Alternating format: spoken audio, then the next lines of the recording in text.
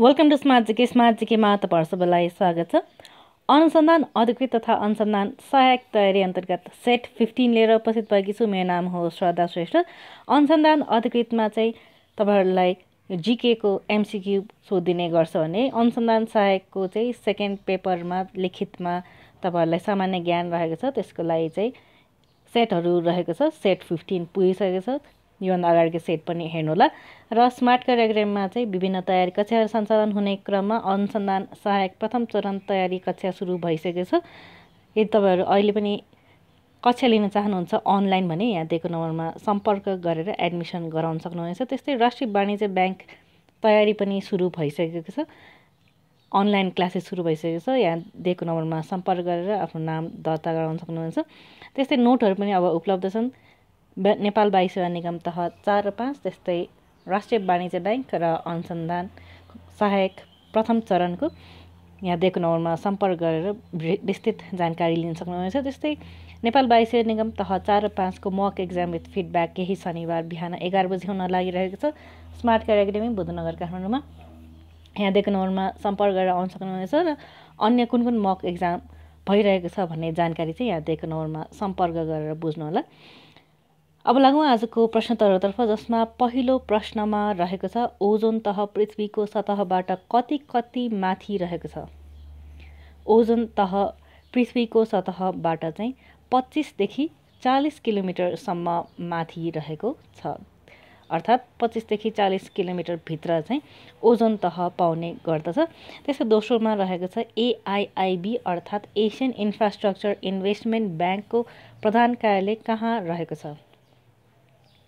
Asian infrastructure investment ब्याङ्कको प्रधान कार्यालय चिनको बेजिङमा अवस्थित छ। त्यस्तै अर्को प्रश्न रहेको छ दिमी पोखरी कुन जिल्लामा अवस्थित छ?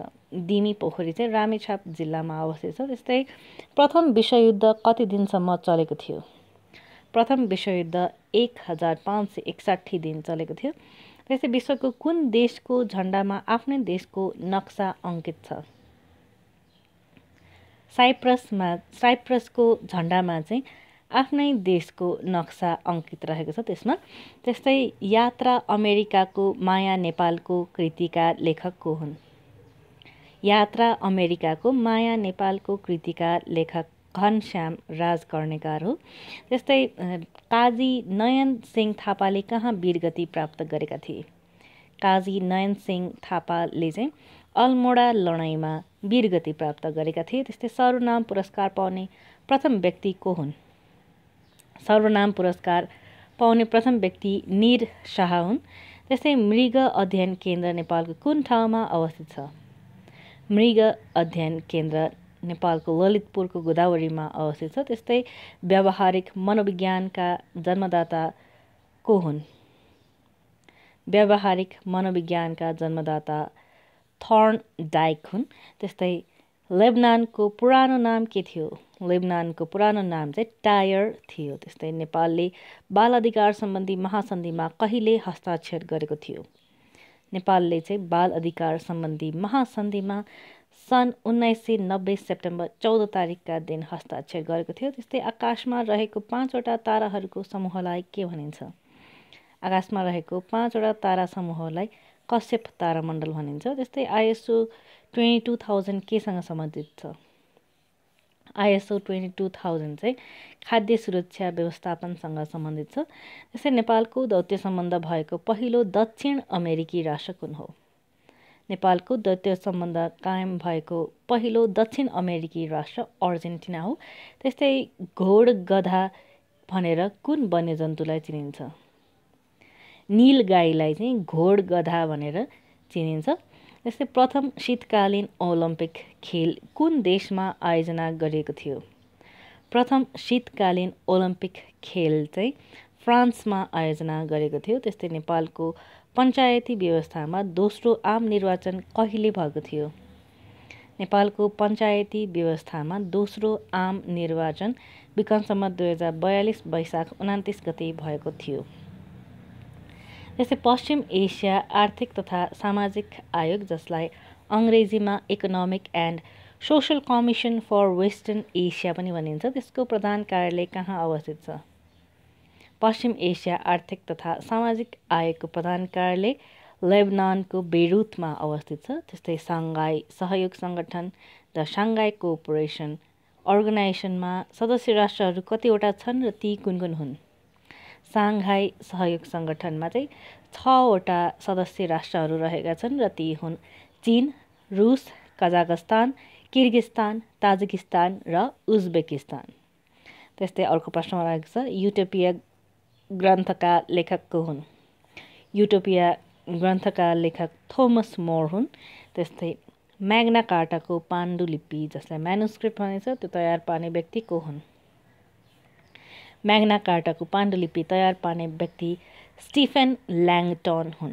त्यस्तै कुन राणा प्रधानमन्त्रीको पालादेखि नेपालमा जनगणना लिने कार्य थालिएको थियो? चन्द्र शमशेरको पालादेखि चाहिँ नेपालमा जनगणना लिने कार्य थालिएको थियो। त्यस्तै अर्को प्रश्न रहेको छ रेशम खेतीका लागि प्रसिद्ध रेशम विकास केन्द्र कहाँ अवस्थित छ? रेशम खेतीका लागि प्रसिद्ध रेशम विकास केन्द्र बनेपामा अवस्थित छ। त्यस्तै नेपाल प्रज्ञा परिषदका प्रथम सचिव को हुन्? नेपाल प्रज्ञा परिषदका प्रथम सचिव रामहरि शर्मा हुन्। त्यस्तै जनगणना दुई हजार अडसठी अनुसार सबैभन्दा कम जनसङ्ख्या भएको नगरपालिका कुन हो? जनगणना दुई हजार अठसट्ठी अनुसार सबैभन्दा कम जनसङ्ख्या भएको नगरपालिका चाहिँ इलाम नगरपालिका हो। यस्तै रावा खोलादेखि सिब्दु जोड्ने सडक खण्डको नाम के राखिएको छ?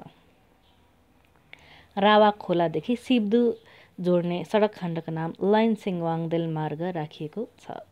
त्यसै जयतु संस्कृतम आन्दोलनको प्रारम्भ कहिले भएको थियो? जयतु संस्कृतम आन्दोलनको प्रारम्भ विक्रमसम्म दुई हजार चार असार एक गतेदेखि भएको थियो। त्यसै संयुक्त राष्ट्रसङ्घले सन् दुई हजार उन्नाइसदेखि दुई हजार अठाइसलाई कुन दशकका रूपमा मनाउने घोषणा गरेको छ? संयुक्त राष्ट्रसङ्घले सन् दुई हजार उन्नाइसदेखि दुई हजार अठाइसलाई United Nations decade of family farming दशकका रूपमा मनाउने घोषणा गरेको छ। त्यस्तै अर्को अन्तिम प्रश्नमा रहेको छ नेपाल अङ्ग्रेज युद्धको क्रममा देउथल किल्लाको नेतृत्व कसले गरेका थिए?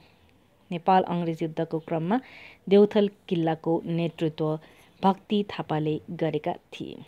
हस्तै प्रश्न साथै आजको भिडियो यहीँ टुङ्गन चाहन्छु जाँदा जाँदै स्मार्ट केयर विभिन्न तयारी कक्षाहरू सञ्चालन भइरहेको छ अघि दिएको नम्बरमा सम्पर्क गरेर विस्तृत जानकारी लिन सक्नुहुनेछ अब अनलाइन पनि क्लासेसहरू भइरहेको छ सुपथ मूल्यमा क्लासेस सञ्चालन भइरहेको छ अनलाइन क्लासेस नेपालको जुनसुकै कुनाबाट पनि तपाईँहरूले तयारी गर्न सक्नुहुनेछ इन्स्टिट्युट धाइराख्नुपर्ने बाध्यताबाट छुटकारा पाउन सक्नुहुनेछ त्यही भएर आजै सम्पर्क गरेर क्लासेसहरू लिनुहोला र साथसाथै मौखिक इक्जाम फिडब्याक हरेक शनिबार हुने गरेको छ। हरेक शनिबार र बुधबार र त्यसको जानकारी पनि अघि नम्बरमा सम्पर्क गरेर लिन सक्नुहुनेछ त्यस्तै हामी ट्विटर फेसबुक इन्स्टाग्राम टेलिग्राममा अभाइलेबल छौँ। स्मार्ट जिके फोर नामले मनोहर सर मनोहर झा फोर र smart car academy smart GK four नामले अभाइलेबल छ। लाइक फलो मेसेज गर्न सक्नुहुनेछ।